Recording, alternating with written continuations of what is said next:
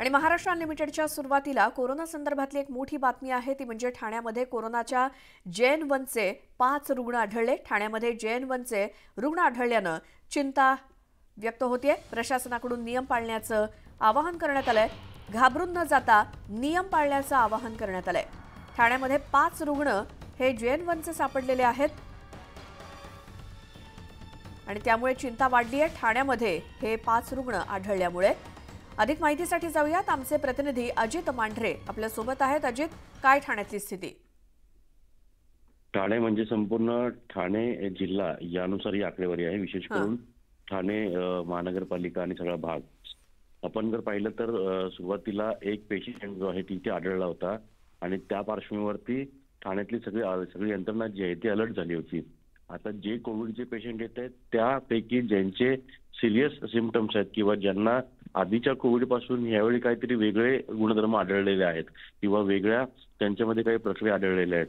अशा ज्या जे कोविड पेशंट जे आता एकूण अठ्ठावीस कोविड पेशंट झालेले आहेत पण त्यापैकी पाच कोविड पेशंट जे आहेत ते नवीन जेवण जो कोविडचा व्हेरियंट आहे त्याचे असू शकतात अशी शंका ठाणे महानगरपालिका यंत्रणेने वर्तवलेली आणि त्यानुसार त्यांचे जे सॅम्पल्स आहेत ते सॅम्पल्स जेनम सिक्वेन्सला पाठवले गेलेले आहेत.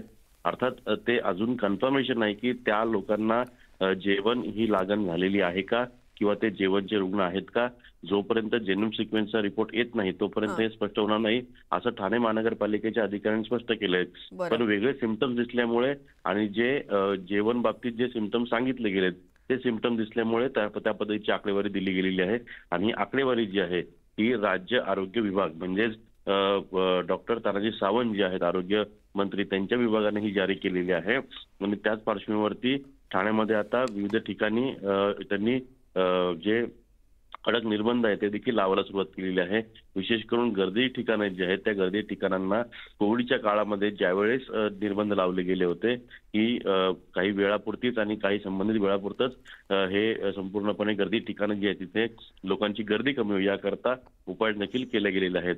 पण जे पाच पेशंट आढळलेले आहेत त्यामुळे ठाण्यामध्ये देखील मोठ्या प्रमाणामध्ये यंत्रणा जी आहे ही पूर्णपणे आता अलर्ट मोडवरती आहे. बरं.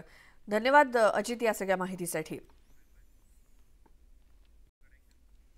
आणि आता बातमी राजकीय वर्तुळातून. वंचित आघाडी अठ्ठेचाळीस जागा लढवणार असल्याचा पुनरुच्चार प्रकाश आंबेडकर यांनी केला.